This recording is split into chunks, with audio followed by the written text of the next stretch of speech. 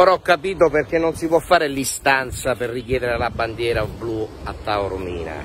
E perché, guardate, ma me l'avevano segnalato in tanti altri luoghi. Sono a Mazzeo, qui luogo meraviglioso ovviamente, e guardate lì cosa c'è. Quella è una fogna a cielo aperto. Guardate lì, ve la faccio vedere a distanza, vedete? Guardate, ecco qui.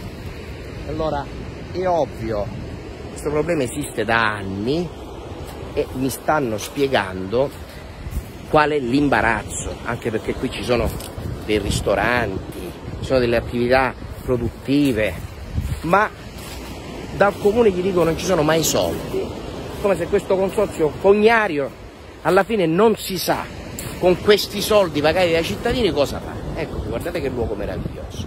Ora abbiamo capito perché non si può avere la bandiera blu in Taormina. Ma le cose cambieranno, vedrete che cambieranno, perché queste sono le cose che i taorminesi non sopportano più.